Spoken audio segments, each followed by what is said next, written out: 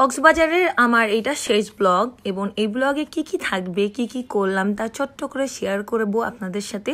আসসালামু আলাইকুম this is me series তা চলে এলাম নতুন একটি ব্লগ নিয়ে। আজকে কক্সবাজারের চার দিনের দিন। তিন দিন হোটেলে ছিলাম, চার দিন দিন সকালে এগারোটা পর্যন্ত টাইম এবং আমরা ব্যাগগুলো নিচে রেখে খেতে গেলাম সকালের নাস্তা, এখনও করা হয়নি এখানটা আমরা চা, পরোটা আর ভাজি দিয়ে নাস্তা শেষ করলাম অ্যান্ড এইখানে নাস্তা শেষ করার পর আমরা হচ্ছে বার্মিস মার্কেটে যাওয়া হয়নি যদিও আগে থেকে সব কেনা হয়ে গেছে। তারপর ভাবলাম বার্মিস মার্কেটে কি কি পাওয়া যায় একটু দেখে আসি। এটা হচ্ছে বার্মিস মার্কেট আর এটা হচ্ছে কক্সবাজার সিটির মধ্যে। একটু বেশটা দূর বিচের থেকে। তো এই মার্কেটটা অনেক বড়।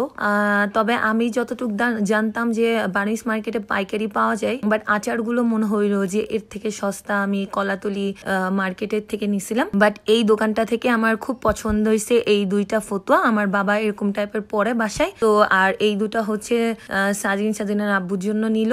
এন্ড আমরা চারটা ফতুয়া মূলত নিয়ে আবার ফিরত যাচ্ছিলাম হচ্ছে আমাদের হোটেলের কাছাকাছি। যেহেতু হাতে অনেক টাইম আছে, তো আমাদের হোটেলের কাছাকাছি হচ্ছে সুগন্ধা বিচ সুগন্ধা বিচে আবার ফিরত গেলাম যে এখানে কিছুটা টাইম সময় আর দেখি আর কি কি করতে পারি। পাঁচটায় আমাদের গাড়ি, তো তার আগে তো আমাদেরকে ঘোরাফেরা করতে হবে। এন্ড এই ঘোড়াটা আমার পছন্দ হয়েছিল, আমি চাইছিলাম ঘোড়াটার পরে উঠি। বাট ওরা অনেক প্রাইস চাচ্ছিল দেন উঠি নাই। আর তারপর হচ্ছে এইটার পরে উঠলাম, গাড়িটা চালানোর অনেক ইচ্ছা ছিল আমার। আর সাজিন অনেক দরদাম করে তিনশো টাকায় আনছে। ও যে সোজা যে বিল্ডিংটা দেখতে পাচ্ছেন, অত দূর বসে আমরা যে যাওয়া আসা করতে পারব, এমন কিছুক্ষণ ভিডিও করার জন্য ইচ্ছা মতো ছবি তুলতে পারব, চালাইতে পারব। দেন আমি কিছুক্ষণ একা চালানোর চেষ্টা করছি, যেহেতু আমি স্কুটি চালাইতে পারি। বাট ওদের স্টার্টটা কেমন জানি কীভাবে দেয়, তো ওইটা হাতে চেপে ধরতে হয় দেন বন্ধ হয়ে গেছে আমার হাতে। পরে আমরা শেষ করলাম। এবার গেলাম দুপুরে কি খাওয়া দাওয়া করব তার জন্য। আর বাকি যারা ছিল, তারা আমাদেরকে না বলেই চলে গেছে অন্য জায়গায়। এন্ড পরে আমরা ওদেরকে ফোন দিই নাই। তো আমি আর সাজিন হচ্ছে পিজা হাটে গেলাম খাবার খেতে। যেহেতু এই কয়দিন ধরে একই টাইপের খাবার খেয়ে খেয়ে আমার একবারে বমি চলে আসছে, তো আমি অভ্যাস এসে ডিফারেন্ট ডিফারেন্ট খাবার হচ্ছে ট্রাই করা। তো যেহেতু ওরা চলে গেছে অন্য জায়গায়, তো আমরা আমরা চিন্তা করলাম পিজা হাটেই যাই মানে একসাথে থাকলে ওরা যেটা চুজ করে সেটাই আমার বাধ্য হয়ে খাইতে হয়। মিডিয়াম সাইজের ড্রিঙ্কস পাচ্ছেন cold drinks cheese garlic stick পাচ্ছেন and four piece barbecue chicken wings পাচ্ছেন। এটা কি বিফে এখান থেকে চুজ করতে পারবেন। এখানে আমার দশটা ফ্লেভার আছে এখান থেকে চুজ করতে পারবেন। মাশরুম কই? মাশরুমের এখানে নাই? মাশরুম হচ্ছে সসেজ অ্যান্ড মাশরুম ডিলাইট এখানে চিকেন সসেজ থাকবে অ্যান্ড মাশরুম থাকবে। ওকে এই এইটা বিফে করা যাবে না? অফার একটা? না বিফ হ্যাঁ। চাইলে যদি মাশরুম বিফ ডিলাইট পাইবা। হ্যাঁ এখানে আছে এখানে বিফ ডিলাইট আছে এখানে বিফ থাকছে টমেটো থাকছে গ্রিন চিলি থাকছে। মাশরুমে কি পরিমাণ ভালো থাকবে? মাশরুম অবশ্যই মাশরুম থাকবে কিন্তু আপনি যদি বিফ ডিলাইটটা নিতে চান তাহলে এটাতে মাশরুম থাকছে না। না আমি জানি। যদি নিই তাহলে চিকেনের বদলে চিকেন হ্যাঁ। একটু মাশরুমটা একটু বে এইটা বিফের নেওয়া যাবে না? এটা বিফে আপনি চাইলে বিফ অ্যাড করতে পারবেন বিফ অ্যাড করে দেন এই প্যাকেটে অ্যাড করলে এক্সট্রা পেমেন্ট করতে হবে। কত কত?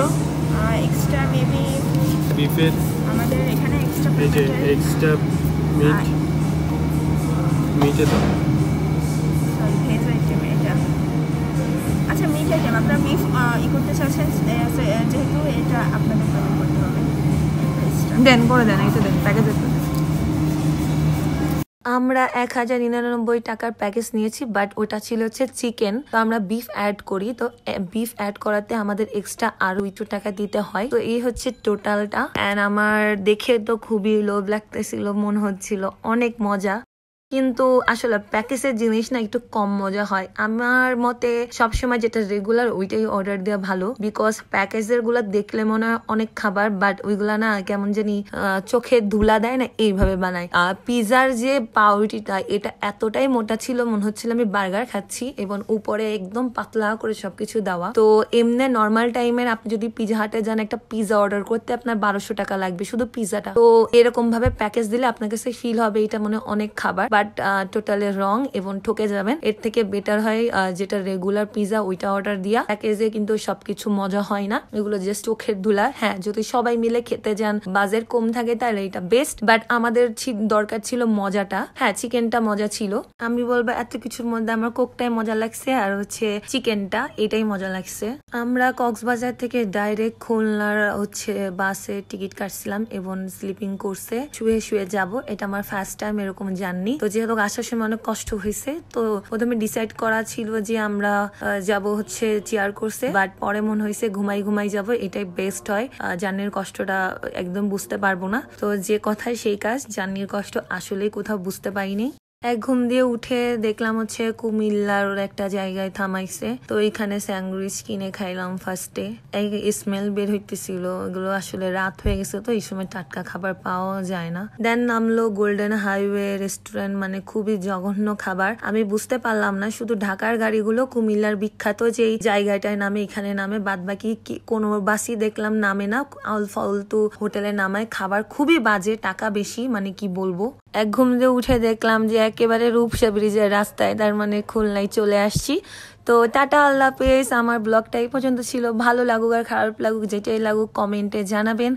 আর একটা লাইক কমেন্ট শেয়ার অবশ্যই করবেন। আল্লাহ হাফেজ।